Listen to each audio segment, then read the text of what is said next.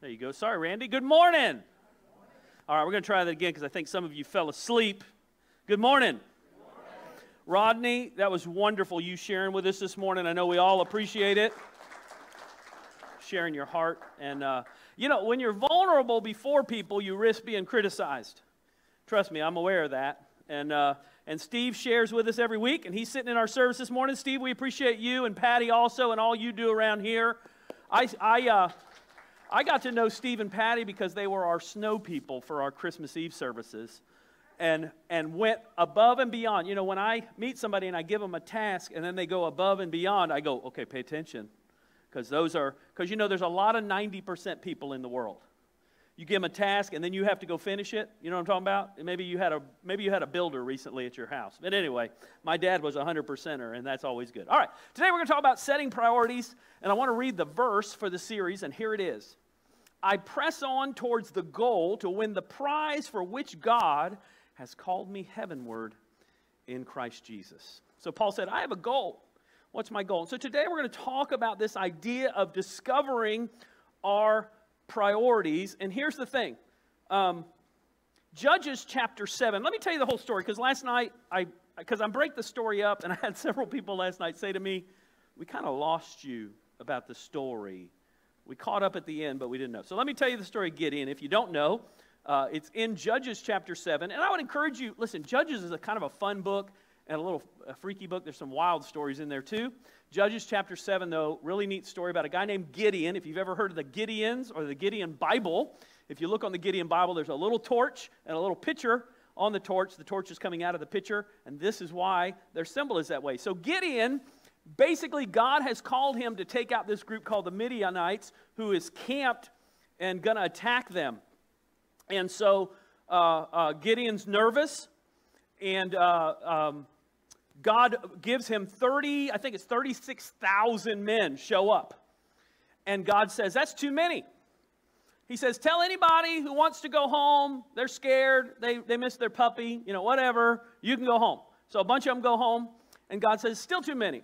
So then he sends them down to drink water, and basically, and we'll talk about this part of the story, the way they drink water, God says, Send those guys home who didn't drink this way. They end up with 300. Now, I don't know about you, but if I'm taking somebody on, more is better, right? But that's not the way God works. God says, You need to trust me in the middle. Well, Gideon's still nervous, so God sends him outside the camp to listen, and he overhears somebody talking about a bad dream they had, which was basically a prophecy of what God was getting ready to do. It made Gideon bold. So Gideon goes back, tells the man, I have this great plan for attack. And I'm sure uh, by this time the guys are thinking, this is going to be a great plan.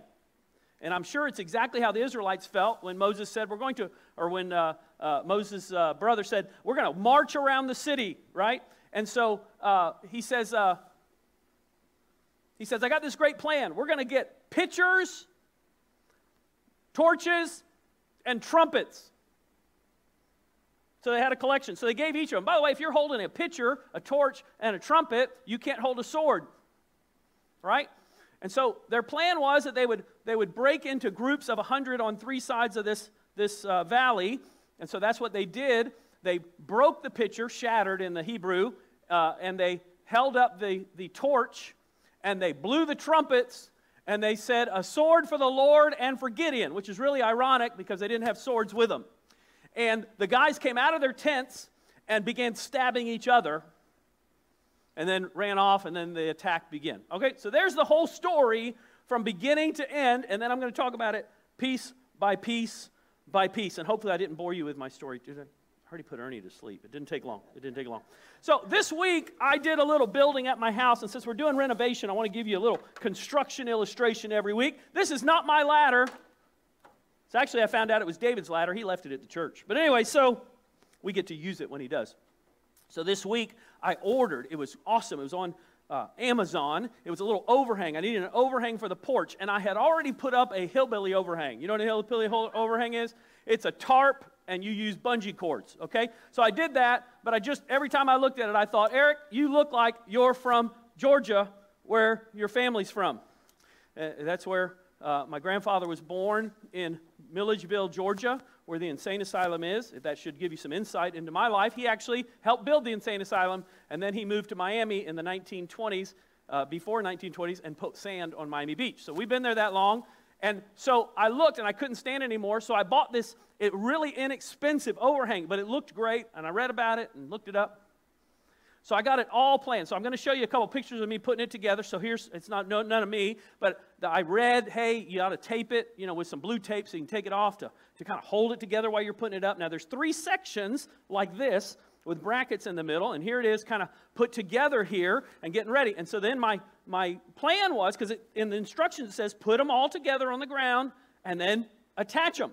So I got them and I began carrying the, this up the ladder. Now I'm on the second floor. So this is really exciting. And those of you don't know, I'm afraid of heights already. So I'm carrying it. And as I get to the top, I put it on the wall. I get my bolt. You should see, I, I'm using my feet to hand me stuff at this point. I start to get the first bolt in, and the whole thing breaks apart. So here's the pictures of the breaking apart. Very exciting. Now, I have options now. Today, today. And here they are. Throw it in the garbage, call somebody, and have them do it. But I'm just stubborn enough that that is not what's happening. Now, Carl, don't worry. You don't have to come over for this one. There's a couple times that Carl's heard my stories, and he said, I'm coming over before you lose a limb. But what I am going to do, I've, I've made a new plan. And my priority now is to get the first bracket hung and then put the other pieces in and hang a bracket at a time. I'm also going to get the largest bolts I can find to make my life easier. Well, I shouldn't say I can find because I can probably find some that you use for giant things. So, what did I do? I had a priority to hang this up and it didn't work. So, I had to restart and rethink and refigure it out. Listen, if you and I, especially gentlemen, you listen to me, if we thought as much about our relationship with God as we did about the projects in our house, it would change our lives. If we began to think about our time in prayer, our time of walking with God, our prayer for other people, as much as we thought about the different things we need to get done it would change our lives. Ladies, that's true for you too. We've all had those moments in our lives that we've had to reevaluate no matter what our project was, what we were doing, and we had to decide our priorities. And this week of all weeks should be a time that we all evaluate what are our priorities? What really is important to me? What really matters? So let's look at that today. Number one, so this is when we discover our priorities. And you could put when security and expectations change. We're picking up in Judges chapter 7, verse 4 through 8, the story that I told, and here we go. But the Lord said to Gideon, There are still too many men. Take them down to the water, and I will thin them out for you there. And I'm going to come back to what the Hebrew says there. If I say, This one shall go with you, he shall go. But if I say, This one will not go with you, he shall not go. So, Gideon took the men down to the water. There the Lord told him, Separate those who lap the water with their tongues as dogs lap from those who kneel down to drink. Apparently, God likes dogs that lap. 300 of them drank from cups' hands, lapping like dogs. Right? All the rest got down on their knees to drink. By the way, I have a theory the Urkels,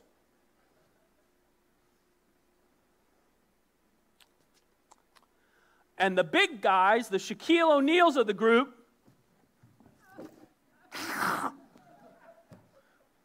my theory is that a lot of the big guys went home.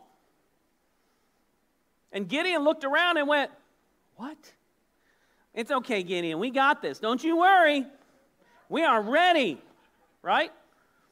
The Sheldons of the world were the ones that were left, the ones who didn't want to get dirty.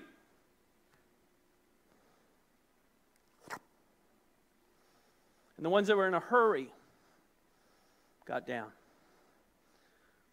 The Lord said to Gideon, With 300 men that lapped, I will save you and give you the Midianites into your hand. Let all the others go home.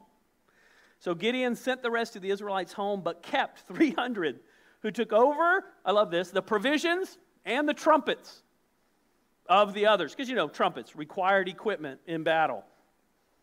They went from 32,000, the size of a city, to 300. Why? That's what God wanted. Now, let me go back to a Hebrew word here. When God says, I'll thin them out for you, that word literally is where we get the word for refine. It's the idea of refining a metal to get out the impurities. You are going to come to times in your life where God is going to do a refining. And you're going to feel powerless. And you're going to feel like you can't control things. And you're going to feel like you wish something would happen differently. You're, you're going to even try with your own strength to say, This is not the way I want it to be. I mean, if it was up to me, I would choose the biggest people to go in with me, and I'd have all of them go with me. And God's like, no, no, no. I'm giving you very few resources to show that it's me that's helping you to make it. Corrie ten said this hold everything in your hands lightly, otherwise, it hurts when God pries your fingers open. Here's three questions for today for this point Do I trust God with all areas of my life? Is there any area right now where you're saying to God, this isn't fair? This isn't right. God's against me. Uh, why didn't He just give me what I wanted right here? Why didn't He just work things out for me? God, I'm going to trust you with this area. Number two, confess any area. Just be honest with God. You know, confession is just being honest. By the way, when you're honest with God, He doesn't go, What? I had no idea. Right? Confess any area and ask God to help you trust Him. You know, sometimes we don't trust Him and we confess it and then we still don't trust Him. So it's okay to say to God, I'm having a hard time trusting you. And then finally, specifically release your security to God. Your life is in His hands. Listen, I'm very aware because I've lost friends that you can be driving and lose your life. One of my friends was hit by somebody going 120 miles an hour this last weekend. They're, they're okay. They were sideswiped. One little change, one little thing, and you can be impacted by other people in life. So, no, God, my life is in your hand every day, every moment. So, every day, every moment, I trust you, God. All right, number two, Oh, let me here's some first steps to set priorities. I'm going to do these pretty quick. Pray about your goals. Walk through them mentally, just like I did. Okay, how am I going to redo this thing? Okay, this is what I'm going to do. So, how am I going to have a quiet time? This is what I'm going to do. How am I going to get up and spend time in prayer? This is what I'm going to do. How am I going to get up and exercise? Maybe you hadn't thought about that one yet. All right, this is what I'm going to do. Decide what's most important and make a list. Okay to make a list. Let me give you a little secret. You can text yourself. Did you know that? If you didn't know that yet, you need to do that. I do that with grocery lists all the time. It's a little weird because you text yourself and then your phone dings and then you start to wonder who just texted me. Number three, take a small step, the hardest task. So, any step, the thing that you really don't want to do, do something small. Let's say you want to clean out a whole pantry. Well, instead of deciding the whole pantry, just say, I'm going to straighten up my chicken soups. Small step. If you want to start exercising, say, I'm going to do one push up. By the way, that's awesome to do one push up and then go, victory! It's a great moment. Number four, chunk similar tasks when possible. So, one of the reasons I study on Wednesday morning and Friday morning is to put all that study together because if I have appointments and then study and then appointments and then study, it makes it more difficult to get back into the task I'm doing. Number five, prepare the night before. Put your shoes out, put your Bible out, whatever it is you're going to do next. Be ready. Number six, reward yourself when you succeed. Now, that doesn't mean you have to give yourself chocolate every time, all right? But you can just pat yourself on the back. You can give yourself a high five. I know that sounds weird, but they've actually found that people just going, I did it. It helps them to want to do it again. It's really, we're weird people. Number seven, try again when you fail. Any, anybody need a further illustration of my idiocy? Anyone? No? Carl, you got it down? Carl loved when I cut down the tree and it hit the power line just barely. I said, see, success. Number eight, prioritize godly goals first. We tend to prioritize everything else first. Put the godly goals first, put everything else second, and you'll fit them in. Seek first the kingdom of God and his righteousness. All these things will be added to you. Number two, when difficult obedience leads to blessing. Jesus in John 14 said, If you love me, you'll keep my commandments. Gideon and the hundred men with him reached the edge of the camp at the beginning, middle of the watch. Just after they had changed the guard, they, listen to this, this is their plan. They blew the trumpets and then broke the jars that had the, that had the torch in them, right? The three companies blew the trumpets and smashed their jars, grasping the torches in their left hand and holding in their right hands the trumpets they were to blow. They shouted, A sword for the Lord and for Gideon. So, you have now gone up on an enemy camp, enemies who had slingshots. And now at night, you had a fire over your head in darkness. You, have you thought through that? That is terrifying. Like, I want to show who I am. Oh, and if you can't see me, I'm right here. Right? That's what I would have thought. And I would have been one of the first ones to go home. I'm just saying that would have happened.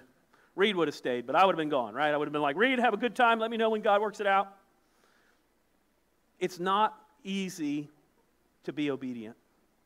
I have a friend named Brett Freeman. I told this story last night. He was an engineer uh, for Boeing, and he one of the head engineers and moving up in his corporation.